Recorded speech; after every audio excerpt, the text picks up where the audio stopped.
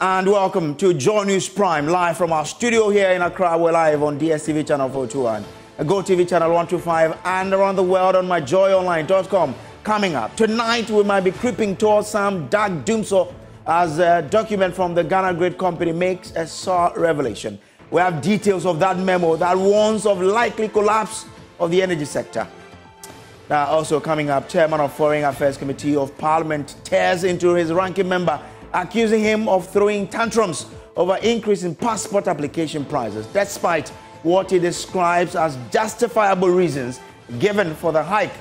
But with the NDC minority complaining about the cost, is the Foreign Affairs Ministry willing to review the fees? Later on, we'll tell you the story of a boy whose dream of becoming a medical doctor is unable to afford further education due to a brain tumor condition.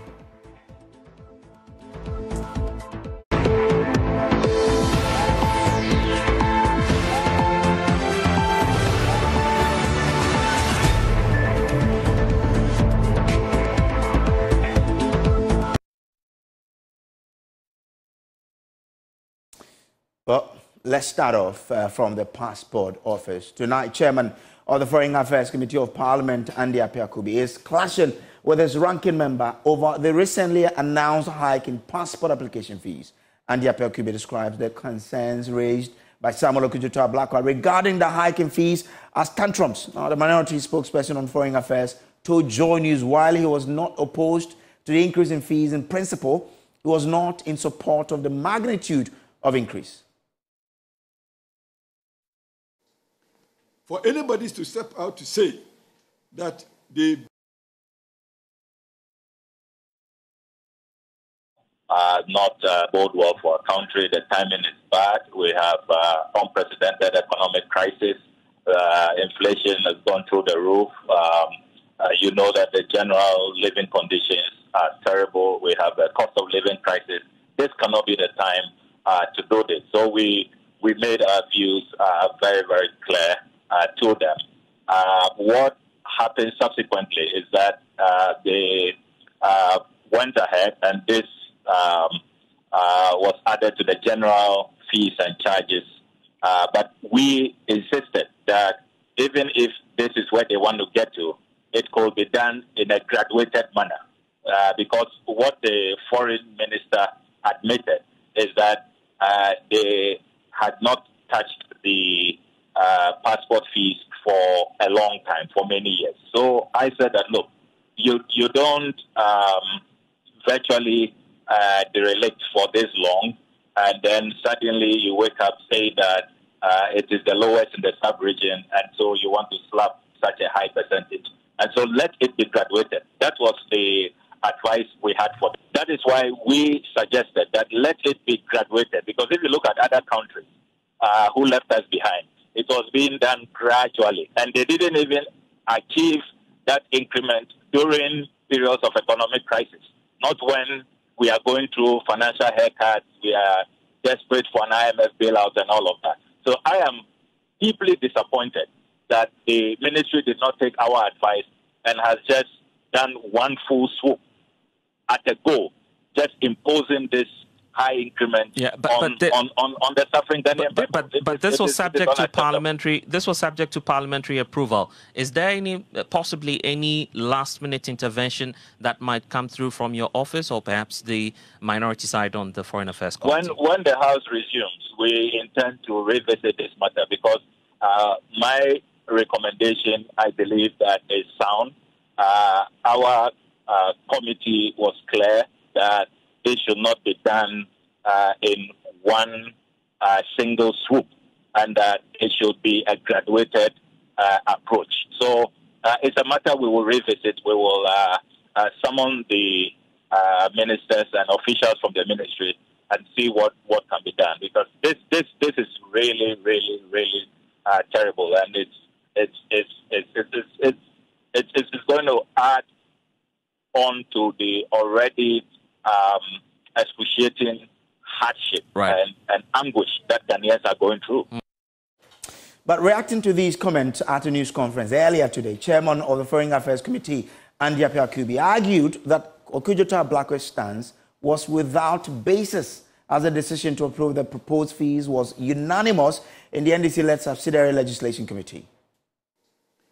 For anybody to step out to say that they vehemently opposed the review of the fee, it's uh, neither here nor there.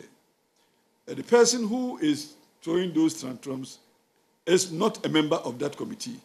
And indeed, it was not the work of the Foreign Affairs Committee, which I chair, which he is a ranking.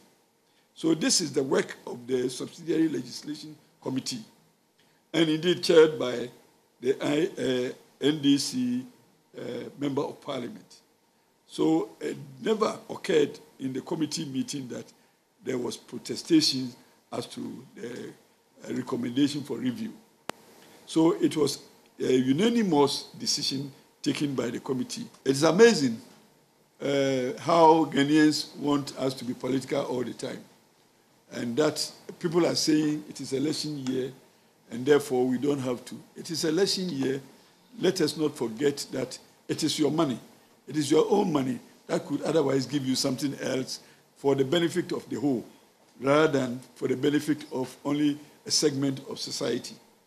So, although it is um, election year, it is important for us to be prudent in the use of public resources. Again, the same people who complain of the increase are the same people who are buying tickets for use uh, every now and again as they travel. And they are paying $2,000 plus for one trip. They, you cannot travel without the passport, even though you may have the money to pay for the 2000 plus dollars. So the base document that gives you the opportunity to travel is only 500 Ghana cedis. Andy Appiah-Kubi also revealed that the proposed hike was 700 cedis for a normal 32-page booklet application, but the Committee on Subsidiary Legislation fought to have it reviewed to 500 cedis. At the Ministry of Finance, there was an agreement that they should charge something like 700 Ghana cedis for the normal and they came to Parliament with this proposal of 700 cedis. And then when the referral was made to our committee, and then not a committee for foreign affairs, but a committee for subsidiary legislation, where I have only just exited as a ranking member.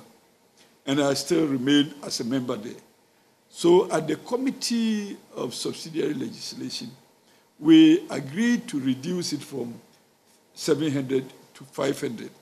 And indeed, it was based on the submission of the ministry that one passport co- cost 400 Ghana cedis. And uh, we expected some administrative cost of about 100. So we agreed that this is not an avenue to make profits, but let us make sure that we cover all associated costs. That is the cost of the booklet and the printing and the cost of the administrative uh, service. Let me hereby emphasize that at the said committee meeting, uh, all of us, as members of the committee, agreed to this proposition and this position uh, rec- and recommended to the ministry to implement uh, the fee of 500 cedis. Not one person uh, opposed it. And I want to also emphasize that this committee is chaired by a member of parliament from the minority, and the vice chairman is also from the minority.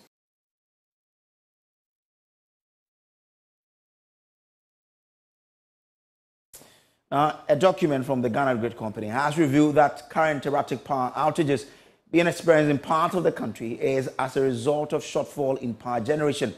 The document shows that a number of power plants are down as a result of fault Inadequate fuel and lack of maintenance, the Energy, Energy Ministry and government spokesperson have consistently rebutted expert views that have attributed the outages to shortfall in generation by aggressively attributing same to localized maintenance. But a report from Gridco cited by Joy News shows that the erratic power supply, popularly known as dumsor, is due to shortfall in generation. Our, our in-house data analyst Kofi Ajay joins me in studio with analysis of the content of the document and more. Kofi, so we've looked at this document yeah. in its entirety. First off, what prediction does this document make? So let's start with the prediction that was made by the Ghana Energy Commission uh, in December 2023.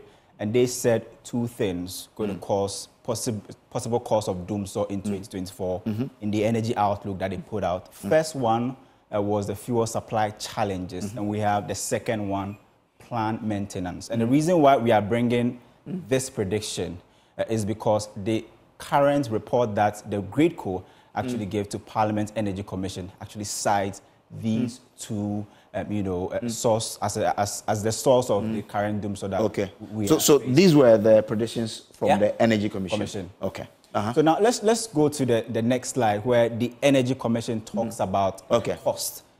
And fuel is the main factor here. According to their projection or their energy outlook for 2024, we need about 1.2 billion dollars to be able to buy natural gas to generate power for this country. And Kojo, you know For 2024. for 2024. And this included, I mean, the local gas we do mm-hmm. have from Ghana Gas. Mm-hmm. Absolutely. It included uh, in terms of 1.2 billion is the mm. total amount that we need Okay. to purchase gas. Mm. And this is because if you look at the national grid, more than 65% comes from thermal generation. So mm. it means that fuel supply is really, really important. Now let's go through the GridCo report that we cited. Mm-hmm. So what's in that report? We, we are breaking it down for you. So we mm. have the total installed capacity for Ghana pegged at 500 5,620 megawatts. That's huge. That's huge. Mm. But this is installed capacity. Mm-hmm. Installed capacity needs to be what? To be Powered. available. Mm. Absolutely. Available capacity as of March 26th. This is very recent data. 3,251. If you do a simple math, Kojo, Mm. that leaves a deficit of 2,375 um, you know, available capacity that has not been mm. used at the moment mm. or has not been utilized from the installed capacity of 5,622. Now, let's go further deep into the, the outlet or what GridCo actually put out.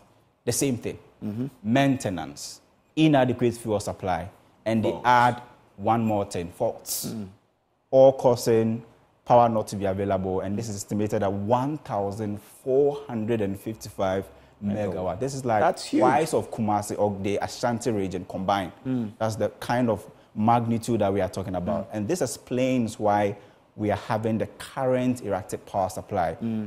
Now let's let's break this down. Maintenance cost alone, Kojo, account for 740 megawatts of the current shortage. So, in terms of the plants Mm. that we have, I mean, those that are down due to maintenance, Mm-hmm. the power they should have given us is 740, 740 megawatt, which we are not having now. Absolutely. And this, I think, is close to how much power would need to power even Western region, Mm-hmm. in Western and Central. Absolutely. So if you, you have that out, that's, that, that's quite huge. Not just maintenance, but we also have inadequate fuel supply, which is which is a very key component here. 595, you know, uh, megawatt, Megawatt. not available because we do not have the needed fuel to actually do the production. Mm. And faults, 1,000. uh, 120 120 megawatt. megawatts. If you mm. add all of them, 1,455 megawatt, that is very huge, mm, currently not available. Let's go further deep into the findings. And this is very interesting. If you mm-hmm. look at the units unavailable due to maintenance, you break it down, and the sources, Bui is one of them, the twin power plant, Ameri, the Simmons unit, the Tico unit one, hmm. all of them, we said it, hmm, 740 megawatts. Let's, let's go to the ones due to inadequate fuel. There's hmm. the Senate, there's a Sogli mm-hmm. phase one, there's KTPP unit, and there's AKSA unit, all around 595. 95. And let's, see, let's look at the last one, which is the fault, which is Tico unit 3 at 120 megawatt. Let's, let's also look at other ones. Now, if you look at the thermal generation and mm. the available fuel, this is very shocking, Kojo. If you look at Takoradi Thermal, mm. the available fuel can only last for 13 days. Mm. 13 days. So, so in, in, in the for Takoradi thermal area, the fuel we have now mm-hmm. can last for 13 days. 13 days. Thermal- And let's put this in context. Yeah. This was a report they did for the 27th of March to the mm-hmm. 2nd of April, Duration which was very just important. yesterday. Yeah. You know, Very and, recent. and when they were saying that, they said the fuel we had could last us for 13 days. Mm-hmm. So let's say 20, 25th of March to 2nd. which was how many days? Let's say five days. Yeah. So it means that we're left with six days of Absolutely. fuel. If nothing changes, close to half mm, okay. of the available fuel, mm. when, and if nothing changes, holding all other factors constant, mm-hmm. We could be plunging ourselves in a very, very difficult situation. And you see the rest over there. There are some, some of the plants that currently they don't even have fuel. They are Sogli plants and the Cenpower. All of them currently uh, do not have fuel. So let's look at other thermal plants. You know, and their locations, you'll see some are even two, days, days, some yeah. are zero. The Kpone thermal plants, and then also the AKSA. AKSA, also zero as well. I think this will be the last one, and these ones we need to take a critical look at them. And I want to read verbatim. It says, matching our generation issues to our demands, 380 megawatts will have to be shared during normal times. Mm. And so during normal times, it is estimated that the average power that we have to share is 380 megawatts. That's mm. very significant. Mm. And at peak times, we need to share 505 megawatts. And so at every point in time, hmm. depending on the prevailing circumstance, hmm. it depends on hmm. what uh, you know ECG or Gridco will decide to shed. So, so the main question, or one of the important questions we need to ask in this circumstance is, when will this end? And it Even people in the power Yes. sector don't even know Yes. when it will end. Yes, I mean, you have some of the plants, not that they are not available, they are available, but the only problem now is they don't have fuel. Okay. So, baseline, the biggest problem is fuel. So, make the fuel available, Yeah. and the plant will start producing. But another key component is the fact that yesterday we heard the chairman of the Energy Commi- uh, Committee to, in Parliament saying that the president has given a directive that they should halt um, you know, uh, the uh, exportation of power. But GridCo says that they are, they, are looking at, they are looking at things, and if the demand or the peak load increases, they may have to cut the mm. power that we export as a mm. country by mm. 40% and utilize other internal means to also share the load. Okay. This means that if you cut 40% of your export, you are going to lose the forex Yeah. that you need to bring in. Exactly. Now, just as we're speaking, we're still picking information from our sources in the sector. Now, we're told that we have a deficit between 600 mm-hmm. to 700 megawatt as we speak. Now, there is no fuel. Yeah. Now, the daily gas or fuel need is between 450 mm scarf and above. Yeah. Currently, Sankofa Jubilee 10 and from our own oil field estimated at 335 mm scarf. So we're a deficit of 100 mm scarf. Supply from WAPCO about 55 mm scarf. Total gas volumes available to Ghana, including Nigeria gas, is 390 mm scarf. So it means that Baseline. whatever it is, we still have deficit in fuel. Uh, very interesting days, but like, as we said, the question is when will this end? It's a question that the energy ministry Another, need yeah, to answer. another question is at this moment, do we have what it takes to raise $1.2 billion to buy fuel? Well, let's see. collect Uh, anyway, so that's Kofi Ajay giving us uh, all of those details there. Uh, away from that, Joy News can authoritatively report that a police inspector accused of using a service rifle to kill his girlfriend at a doom in Kumasi is alive and healthy. Social media reports have alleged the death of Inspector Ahmed Twumasi, also known as Tycoon, who has been on prison remand since his arrest last year. But Ohemeng Tawiah of our security desk, who was giving exclusive access to the remand police officer, report he is hale and hearty as the prison authorities begin investigations into the fake reports. Inspector Ahmed Twumasi has been on remand since his arrest in May 2023 after a specialized police operation led to his arrest in his hideout at Sechre near Efijasi in the Ashanti region. He has been accused of shooting 26-year-old Victoria Dapa, also known as Majwa, multiple times in the abdomen and chest on April 20, 2023 at about 9.50 p.m though he is expected to appear before a Kumasi High Court on April 15, 2024. Rumors about his death spread on social media. The authorities of Kumasi Central Prisons granted me access to the cells of the accused. Sporting a white t-shirt over a pair of khaki shorts and slippers, he responded to questions from prison officers. He was hale and hearty. Inspector Ahmed Twumasi told the officers in my presence that he was privy to rumors of his death. Here is the public relations officer of the Kumasi Central Prisons, Superintendent Richard Bukari. categorically not true. I emphatically say it is not true. Ahmed Twumasi is hale and hearty in custody. Nothing has happened to him, and I promise nothing will happen to him. Uh, I took the pain to walk yourself through the prison to have a look at him. And looking at him, he's not even sick. And I wonder under what circumstances Twumasi will be declared uh, dead. Even for natural causes, we don't pray for it. But as professional as the prisons have been, uh, taking note that he's a state property, we will not do anything that will compromise his health, his security, and his well being in the prisons. So I say on authority that Twumasi is not dead, he's alive, healthy, and undergoing his trial processes. Appalled by the circulation of the fake news, prison authorities have launched investigations to get to the bottom of the issue and punish the culprits. Superintendent Bukari again. Anybody involved in circulating such information should be very careful. After all, it is even against the laws of the state to circulate false information. It is a chargeable offense and you can be imprisoned for it. But we are not leaving it just there. We are going further to investigate the source of that info. Whoever would have generated such false information that is causing this upheaval in the general public will have to be dealt with according to the laws of Ghana.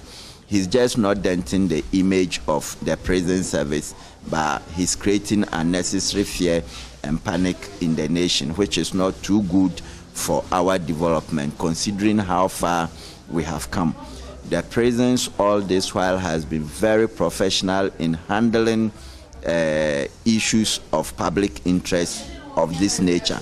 And we promise that we aren't going to compromise on our standards. Meanwhile, Inspector Twumasi is expected to appear at the Kumasi High Court on April 15, 2024. From Kumasi, for Joy News, Ohemeng Tawiah reporting. Now, the Scholarship Secretariat is fighting off claims. It awarded scholarship to politically connected and um, persons with high societal connections, insisting that the beneficiaries were Ghanaians and have gained admissions uh, to accredited universities. The Scholarship Secretariat's response to the RTI request showed that it had spent 237.5 million cedis and 200 million cedis in 2019 and 2020, respectively, covering both foreign and local scholarships. The Secretariat had come under public scrutiny in the past for often overlooking deserving applicants in favor of those with political and high society connections. Now, let's go on the lines. Now, I speak to the lead investigator on this beat at the Fourth Estate, Seth Gbokpe. Uh, grateful to you, Seth, for joining us here. First, run us through the individuals who benefited from the Scholarship Secretariat within the period under review.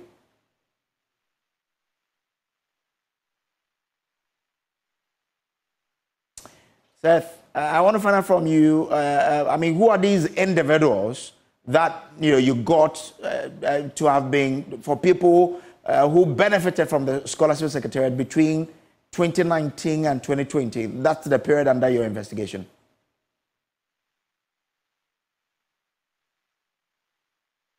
Okay, I guess we would we'll still have Seth S with the Fourth Estate. They are the body that investigated the scholarship secretariat and have come to realize that they spent between 100 over 190 uh, to 200 million dollars between 2020, uh, 2019 and 2020. And uh, the investigations also revealed that a lot more people who had connection uh, to political people or uh, people of political influence and high uh, society connections were given scholarships than people who were needy. let's go back and speak to Seth Gbokpe, who is the lead on this investigation. First, run us through the individuals who benefited from the scholarship secretariat within the period under review. Um, hi, thank you for having me. Um, we have at least 20 names so far. Um, so there is Fauzi Ramadan, a relative to the second lady, Samira Bawumia. Um, there is Lucy Blay, Caliber, who is a daughter of former chairman of the NPP, and the GNPC board chairman, and Gifty Owari Mensa, who used to be Owari Party, is the deputy director of the National Service Secretariat. Okay. We have um, Adum Effah-Dartey, a son of Captain Effah-Dartey. Effah-Dartey. Okay. Um, NPP member. We have Amma Frimpoma Juma, Managing Director, SIT. We have Dr. Dennis Ado, who is the founder and chief executive of the Claron Hospital at the airport residential area in Accra. Mm-hmm. We have Charles Asma, um, the treasurer of the NPP UK branch. We have um, Julius Ochri, a constituency secretary in Abuakwa South the very constituency that the registrar comes from. We have the Ashanti Regional Youth Organizer, Raphael Patrick Sappho. Um, we have Celestine Amwakwanta. Um, she's an youth activist and very um, loud on Facebook. There is Nana Poku Frefe, an aide to the Ashanti Regional Chairman. We have Nana Ibibia Asante Apeatu, um, a daughter of the former IGP, okay. um, Mr. David Asante Apeatu. We have Arabachu Mesi Mensa, um, a daughter of Joe Mensa, a former MP for Kwesi in the Western region. We have a lawyer, Christine Opusuampedu, who had um, some money to go and do internship at the ICT. We have Michael Koyata, uh, personal assistant to Gabby Otchere-Darko, obviously related to the president, mm-hmm. and um, former finance minister Ken Ofori-Atta. Mm. We have Zina Asante, who is the daughter of the CEO of the National Film Authority, Juliet Asante. Okay, okay. Yeah. Now, now, are these the only people who benefited from the scholarship within the period, or these are people with Absolutely high. Absolutely not. There are okay. a lot more people. Okay. But these are names we were able to fish out. Mm. Mm. Mm. We will indeed publish the full list later. Okay. And we are willing to update it. We are hoping to update it as the public health fish. Okay. Um, anybody they think is a, you know, a politically exposed. Person. Okay. Okay. Our uh, concern is that this, this is a scholarship that is meant for the needy, and it should be so. Okay. Uh, what, what, needy, and it should be so. what has been their responses when you contacted some of these individuals for a reaction? So um, when we called Fauzi Ramadan, for instance, mm. he said that yes, he was awarded a scholarship, but he did not go to the school. He didn't attend school because at the time was COVID um, he had a few online sessions, and he had he was involved in an accident, so he didn't continue, and he didn't defer the course as well. Um, we spoke to um, second. We spoke to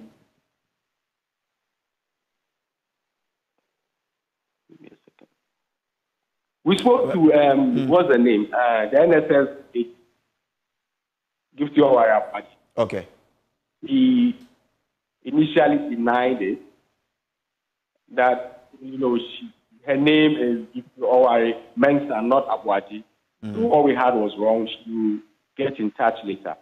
Okay. We called subsequently. Um, we didn't get anything out of her. Mm, mm, mm. Yeah. Very, very interesting. We sent, mm-hmm. for instance, in the case of the Carl in the he said that yes, in the UK, but he has, you know, traveling between the two countries. And he confirmed. Okay, interesting. Oh, we'll still keep an eye on this developing story. Grateful to you for sharing with us these details. But my colleague, Carlos. Kaloni, has been speaking with the Registrar of the Scholarship Secretariat, Dr. Kingsley Agyeman. According to him, applications are not assessed based on political cuts of potential beneficiaries. First place, who do they even identify as a political connectors of our party. So it's a data that you have put out there. We need to interrogate the data. Unfortunately, when they met me, they didn't approach me with this data. If they think they had a strong data analysis, by the way of the analysis, when this is purely academic exercise, data needs to be interrogated. I'm a data person. Okay. So they should have brought this thing up. They had a data set that they have slept with it for over three years. And this is the kind of analysis. So the, the I'm coming at this is out of how many? Is it statistically significant? It's not. We are uh, also learning that an NPP constituency is don't worry, don't, don't get in region. Don't, don't, was, don't. Let, let, let, me just land on this. Was awarded multiple scholarship for master's program, totaling about uh, 57,210 uh, pounds sterling. So what, what do they mean by multiple scholarships? They have to define their variables. Is because I had, I had, I had, no, I had this discussion with them, and I explained to them, we, we are running academic years. So if somebody had, let's say, a scholarship in 2019, 2020, and had a, a consecutive one of 2020 and 2021 to complete a skill development program, is that multiple? So we need to understand what they mean by multiple uh, scholarship. So these outliers that we have picked, significance. You can only throw out political mischief because we don't ask for your party card in our assessment of a scholarship. How about maybe the other side who have also benefited from scholarship, if any? But you choose and pick this few out of a huge data that was given to you. For me, I think the, the object may not be too appropriate. Well, this is still the Joy News Prime. Now, uh, we'll take a quick break. When we return, we have more news for you. Please do stay.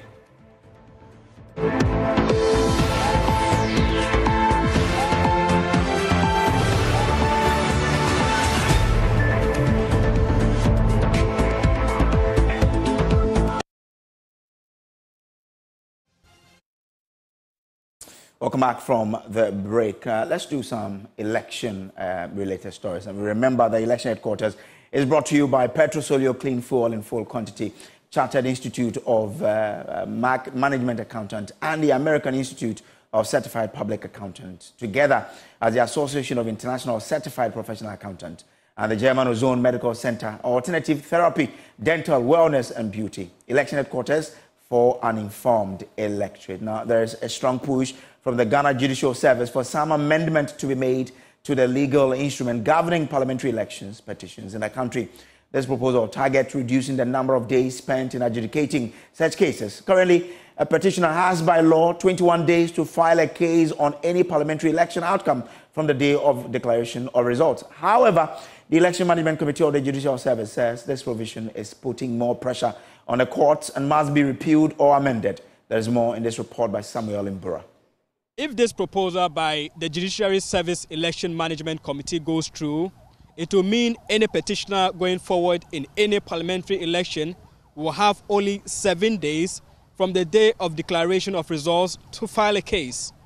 His Lordship Justice Bafo chairman of the Judicial Election Management Committee, says this will save cost and time at the courts. We are proposing that the PNDC law 284, section 26, should be repealed and or amended and then maybe a new law altogether governing parliamentary elections is I mean procedure is set out completely in a new law. CI 47 provides that appearance shall be filed within eight days and defense filed within 14 days. So a respondent seeking to delay the process actually has 22 days within which to file a response. This is too long. In reaction to this proposal, some political parties are kicking strongly against it. I'm still um, up to the 21 days. I strongly believe that the 21 days is what we need. I mean, putting up a very solid petition requires and entails a lot of diligent work.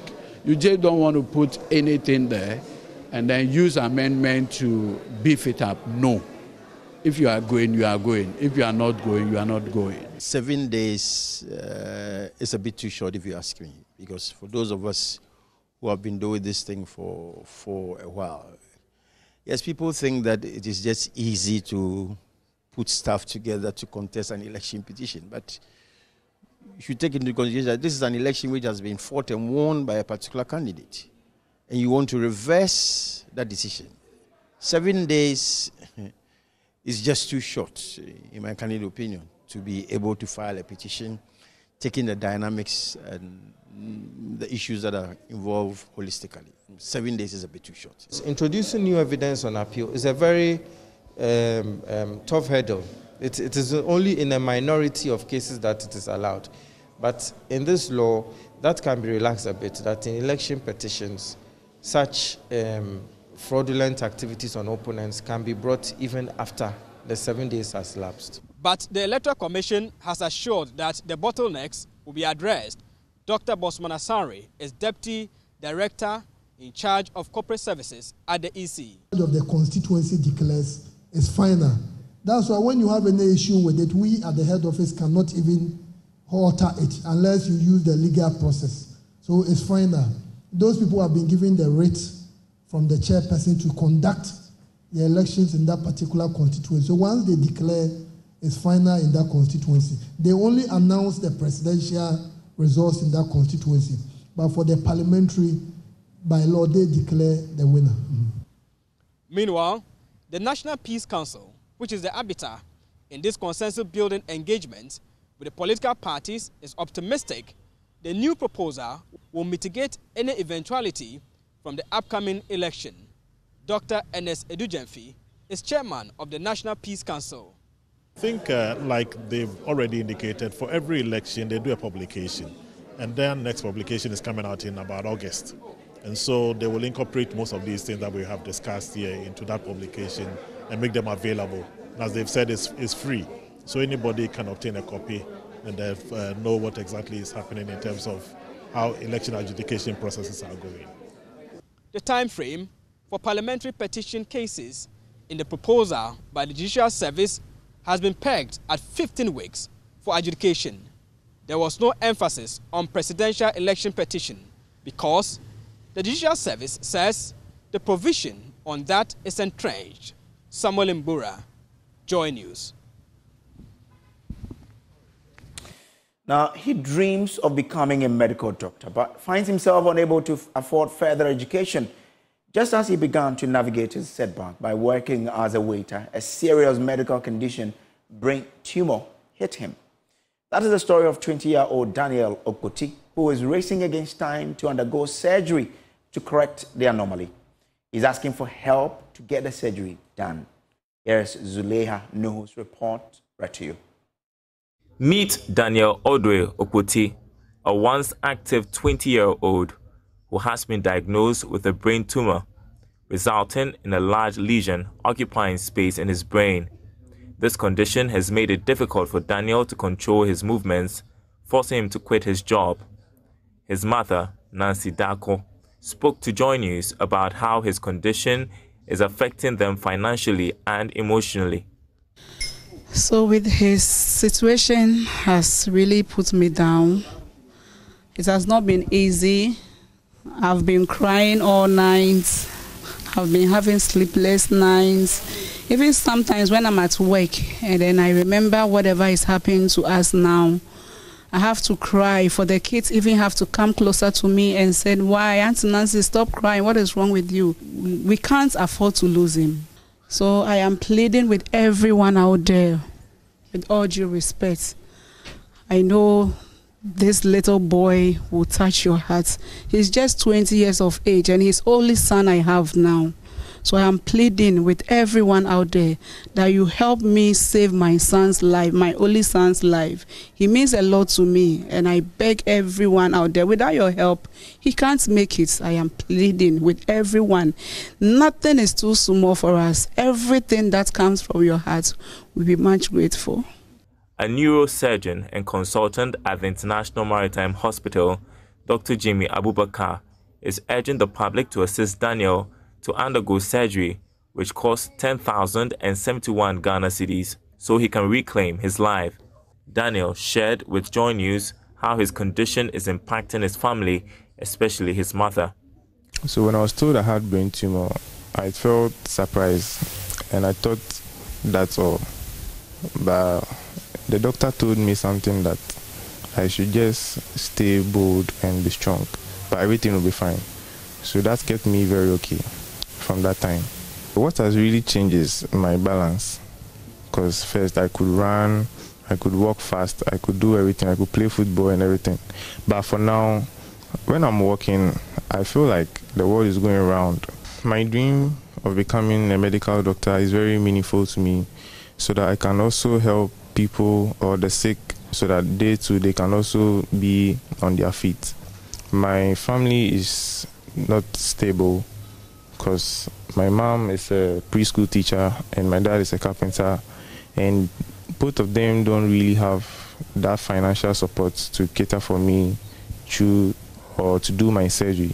I'm pleading to the public to help me donate so that I could have my surgery and also come back to my normal position as I was at first and also so that I shouldn't lose my life because it's very something very serious that if care is not taken I might lose my life. I want um, people to help me so that the surgery can be done so that the stress and the emotions and everything ends because my family or my mom and my sisters are going through a lot with stress.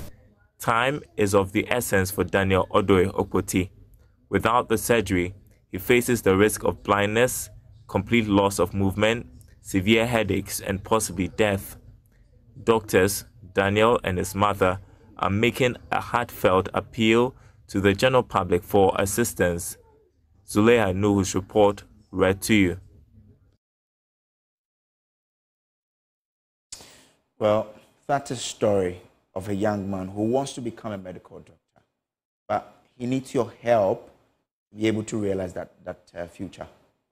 Your little support can go uh, to do, do a lot more for him. So kindly support this young man to get his life back on track. Well, this is still the Joy News Prime. We'll take a quick break here. We'll be back with Showbiz to stay.